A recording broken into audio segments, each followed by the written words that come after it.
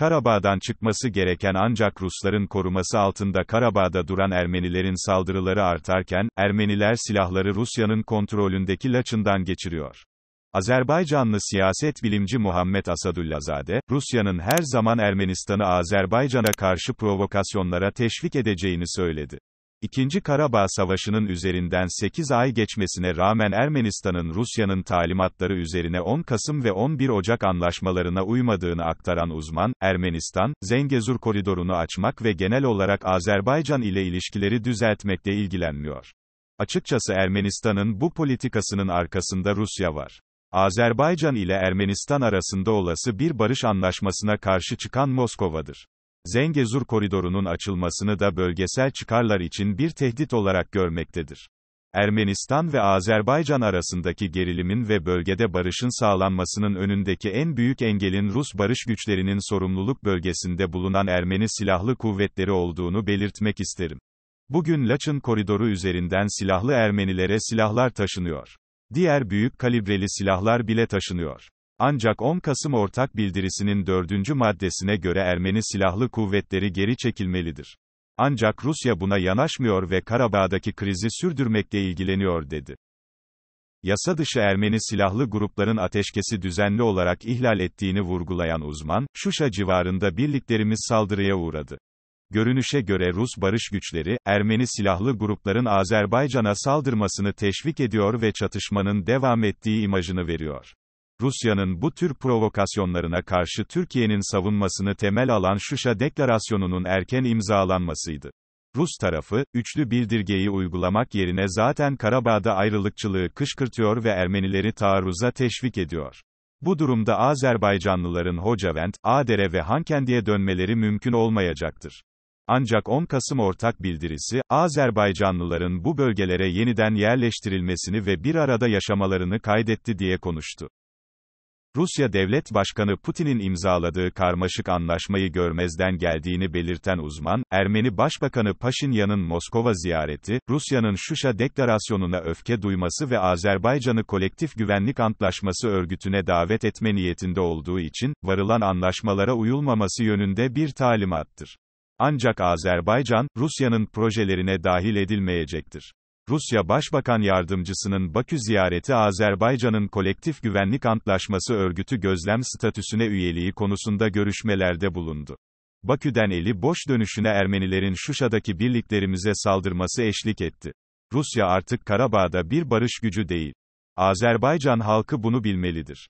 Rusya, Karabağ'daki Ermeni-Azerbaycan ihtilafının tırmanmasında bir kez daha katalizör oldu. Ermenistan'ın bir daha mayın haritaları vermeyeceğini kaydeden Cumhurbaşkanı İlham Aliyev'di. Mayın haritası vermezse Azerbaycan ile barış yapmaz.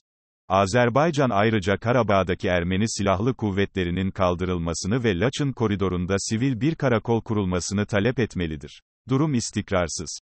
Şuşa'da ABD, Rusya ve Fransız büyükelçilerinin olmaması Ermenistan'ı olası anlaşmalara karşı tavır almaya teşvik ediyor.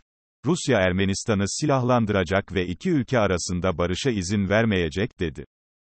Azerbaycan Milletvekili Elman Mammadov, Karabağ'da savaş tehdidinin büyüdüğünü ve bu sefer tamamen yok edilene kadar Azerbaycan'ın durmayacağını söyledi.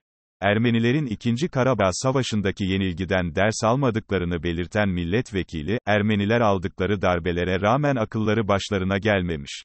Bu şekilde Azerbaycan bir dahaki sefere tamamen yok olana kadar provokasyonları önlemek için çalışmaya devam edecektir. Öte yandan tüm bu provokasyonlar Rus barış güçlerinin gözleri önünde gerçekleşiyor. Bu süreçler de onların himayesi altındadır. Çünkü Rus barış güçleri garantör rolü oynuyor. Bu durum devam ettiği sürece ateşkes daha sık ihlal edilecek ve daha tehlikeli hale gelecektir diye konuştu. Sorunun kökeninin Rus barış güçlerinin bu provokasyonlara göz yumması olduğunu aktaran milletvekili, Azerbaycan, bu provokasyonları önlemek için askeri gücünü topraklarında terörle mücadele operasyonu başlatmak için kullanabilir. Şüphesiz ordumuz olayların kökünü kazımak için tedbirler alacaktır. Bugün barışı koruma misyonunu devralan Rus devleti, topraklarında böyle bir ayrılıkçı örgütün varlığına razı olacak mı? Elbette cevap hayır olacaktır. Peki neden bunun bizim başımıza gelmesine izin veriyor? Sorunun temeli budur dedi. Askeri uzman Adalet Verdiyev'de provokasyonlara yanıt olarak Azerbaycan ordusunun önümüzdeki günlerde Ermenilere ezici bir darbe vurabileceğini kaydetti.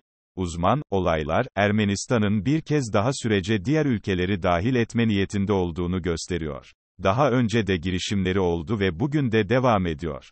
Dolaylı olarak, Ermenistan ortak açıklamanın şartlarını büyük ölçüde ihlal ediyor.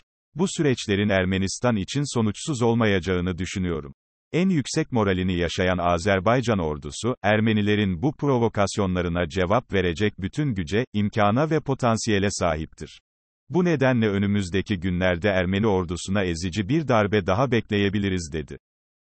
Azerbaycanlı siyasi analist Kabil Hüseyinli, Ermenistan'ın Şuşa'yı ziyaret eden büyükelçilerin ülkelerine nota vermesinin siyasi küstahlık olduğunu söyledi.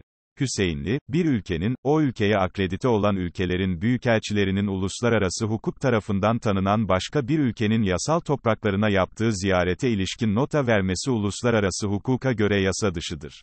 Ermenistan'ın bu adımı uluslararası hukuka ve ülkelerin toprak bütünlüğüne saygısızlığın bir kanıtıdır. Erivan, bu davranışıyla, onunla uzlaşmanın imkansız olduğunu bir kez daha göstermiştir. Bugün Azerbaycan ve Türkiye, Ermenistan'ın bölgesel süreçlere katılımıyla ilgilenmektedir. Bölgedeki gerilim ve savaş hiçbir ülke için iyi alamet değil. Ancak Ermenistan, 44 günlük savaştaki utanç verici yenilginin ardından dahi işgal politikasından vazgeçmemekte ve diplomatların temsil ettiği ülkelere Şuşa ziyareti için nota vermektedir. Erivan'a daha fazla taviz verilemez. Bu davranışa karşılık bile Ermenistan'a Laçın koridoru üzerinden baskı yapılmalıdır dedi.